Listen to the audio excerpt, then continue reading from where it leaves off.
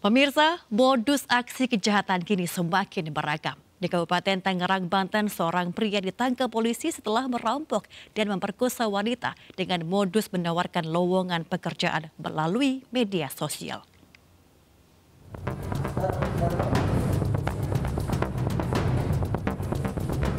Pria pelaku perampokan dan pemerkosaan terhadap seorang wanita di Sindang Jaya, Tangerang, Banten berhasil ditangkap polisi Jumat pagi. SH sebelumnya merampok dan memperkosa SU 24 tahun, warga Kebon Jeruk 20 Februari lalu.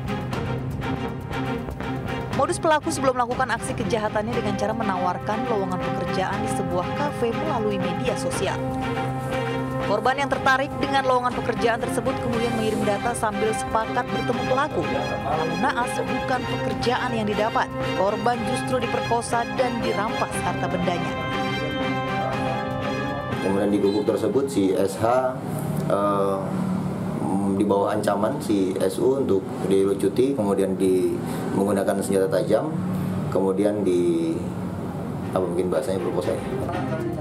Kini pelaku mendekam di tahanan Polsek Pasar Kemis. Pelaku dijerat pasal pencurian dan pemerkosaan dengan ancaman 10 tahun penjara.